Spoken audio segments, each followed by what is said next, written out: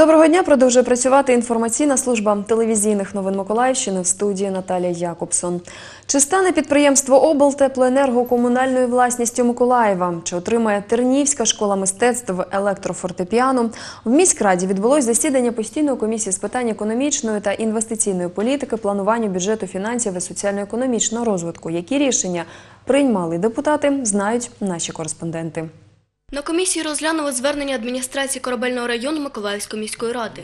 Просять виділити 3 мільйона гривень додаткового фінансування на об'єкт благоустрій території та влаштування скверу в районі будинків по вулиці Ленінградська до вулиці Айвазовська. Депутати одноголосно проголосували на користь звернення. За то, чтобы поддержать звернення корабельной администрации, прошу голосовать. Семь. Спасибо. Юрій Любаров звернувся до депутатської комісії з проханням перерозподілити кошти бюджету розвитку, виділені на початку року дитячій школі мистецтв номер 1 20 тисяч гривень планують витратити на придбання електрофортепіано. Вместо телевизора ноутбука школа э, надумала приобрести себе электрофортепиано для концертных выступлений. Действительно насущный. Лучше телевизора. Ну, телевизор сегодня, Для школы искусств лучше телевизор. как оказалось, Комісія одноголосно проголосувала за те, щоб задовольнити прохання начальника управління культури. Я просто э, считаю, что вот как раз вот этот вот шаг, когда вместо телевизора покупается пианино, это как раз и говорит о том, что э, новый руководитель серьезно вникает в эти вопросы и, возможно, то перераспределение, которое по- сейчас вот приносится, это тоже как бы оно таким же образом, из таких же соображений проработано. В ході засідання комісії розглядався проект рішення про прийняття в комунальну власність міста Миколаєва обласного комунального підприємства Миколаїв облтеплоенерго. У разі погодження питання облтеплоенерго перейде як юрособа з усіма правами і зобов'язаннями і відповідно з усіма боргами. Эта процедура позволяет провести, грубо говоря, ребрейдинг предприятия. То есть ОКПО остается тоже, меняется только, только учредитель предприятия. Это позволяет нам, первое, сохранить кредит Мирового банка. Второе, позволяет э, сохранить лицензию действующую, позволяет э, сохранить действующий тариф. Э, Проблемная задача. На сегодня ОКП должно за газ 131 миллион гривен. Из них 40 миллионов гривен – это льготы и субсидии. Микола Логвінов зазначив, борги поступово виплачуються, робота підприємства стає більш ефективною і якісною. Поки що депутати остаточно рішення не прийняли. Питання розглянуть у форматі робочої групи, до складу якої увійдуть представники трьох профільних комісій – з питань ЖКГ, з питань бюджету та з питань транспорту та енергетики. Світлана Кльосова, Руслан Іванов, телевізійні новини Миколаївщини. У Миколаєві з третьої спроби розпочалось судове засідання по справі Миколи Кравченка проти Миколаївської облдержадміністрації. Позивач не визнає результати конкурсу на посаду директора академічного російського драматичного театру. Засідання відкладалось і переносилось кілька разів. Причини були різні: від неправильного оформлення позовної заяви до неявки позивача. Цього разу у судовому залі зібрались усі. Микола Кравченко вважає, що під час проведення конкурсу були порушені всі можливі норми законодавства, починаючи з формування комісії і завершуючи самим голосуванням. Вбачає позивач і політичний чинник. Неважно, э, я бриллиантами разбрасывался бы там или, или еще что-то. А э, там просто назначено было, вот вы голосуете за этого. Все. Вопрос решен. Ну, поскольку я понимал, что там идет изначально подготовленный этот ва- вариант, и я, э, так сказать, счел необходимым э, подать иск Сторону відповідача Миколаївської облдержадміністрації представляє начальник юридичного відділу Світлана Рус. Але є у справі і третя сторона Артем Свистун. Трагиваются мои прямые конституционные права, а, так как я являюсь победителем этого конкурса и директором, художественным руководителем театра и назначенный на сессию облсовета 27 апреля 2017 года.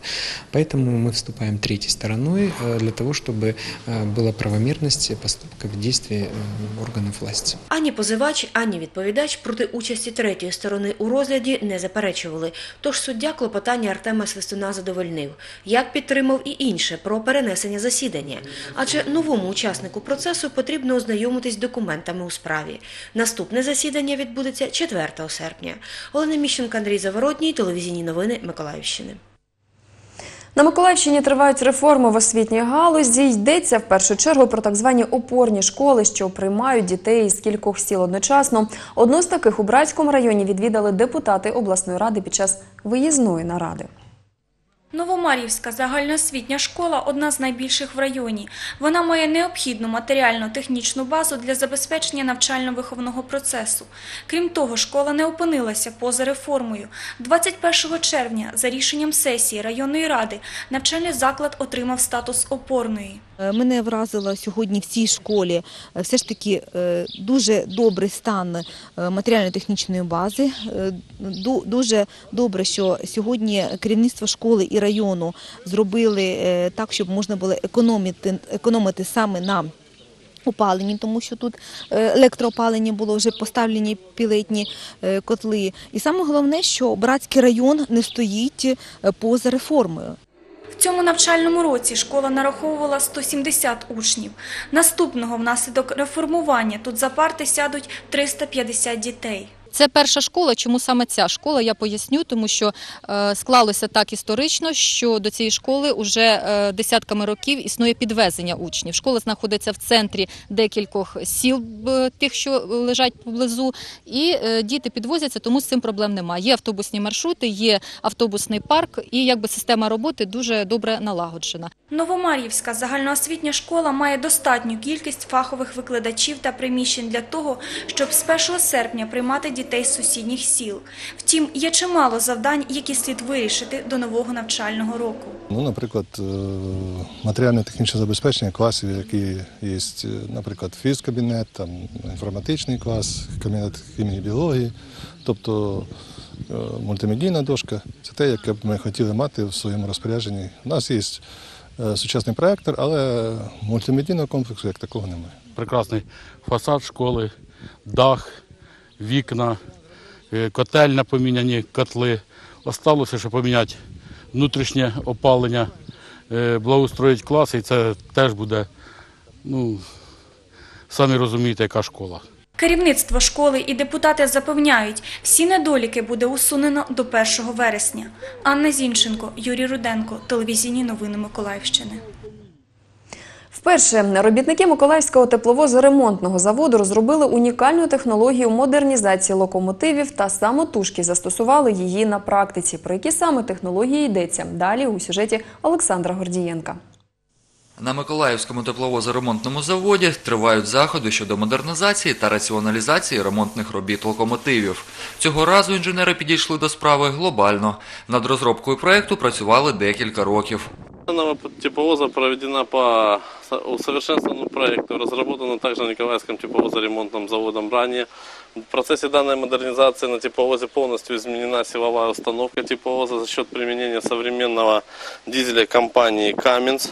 Здесь установлен дизель QST-30, который позволяет значительно улучшить технико-экономические показатели эксплуатации данных дизелей. Випробовуючи окремі оновлені вузли та агрегати на експериментальному локомотиві, врахувавши всі недоліки та переваги, втілили проект у життя. Фактически этот локомотив сегодня вот действительно можно э, ну, с гордостью, с гордостью представлять э, и говорить о том, что эта работа выполнена у нас в Украине, потому что аналогичные работы выполнялись только в Европе. У нас в Украине такие работы не делал никто.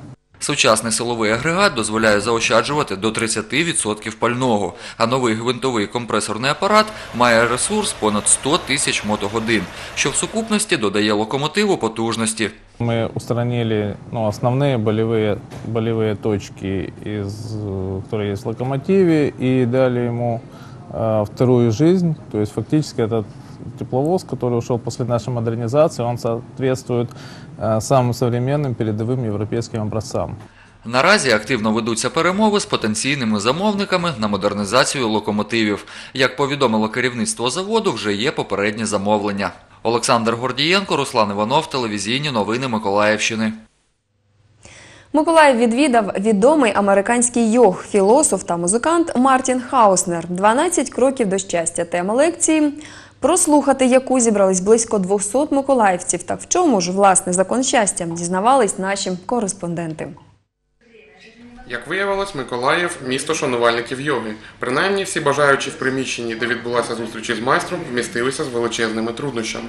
Олександр на такому заході вперше, але дуже поважає йогу як філософське вчення. Йога, ну, для меня это йога, это умение жить. Это вообще перемена мышления и перемена жизни. Людина, яка викликала такий ажіотаж – американський йог Мартін Хауснер або Махатма Дас. Духовний наставник, практика якого налічує 50 років, приїхав читати лекцію, мета якої – навчити людей законам щастя. Назва лекції «12 кроків до щастя». Крім того, майстер розповів, як у 19-річному віці почав шукати відповіді на, здавалось би, прості питання, але довго не міг їх знайти. А зачем заработать много денег? Чтобы построить большой дом. Why have a big house? Э, зачем строить большой дом? So you can be happy. Чтобы быть счастливым. Well, my father had a big house. He had a lot of money. He wasn't happy. So that answer didn't satisfy. me. Ну вот у моего отца был большой дом и много денег, но это не делало его счастливым. Такі відповіді не задовольнили юного Мартіна, та йому пощастило. Майбутній філософ прочитав мудру індійську книгу під назвою Бхагавадгіта, яка є однією з трьох основотворчих у філософії індуїзму. Після цього він подивився на світ іншими очима. А когда я прочитал Бхагавадгиту, э, то нашел ответы на все вот эти «почему». Why we're here, А Почему мы здесь? what we're supposed to do while we're here. Что мы должны здесь делать? And then Bhagavad Gita taught me how to be happy Бхагавадгита научила меня тому, как быть счастливым. without a big house.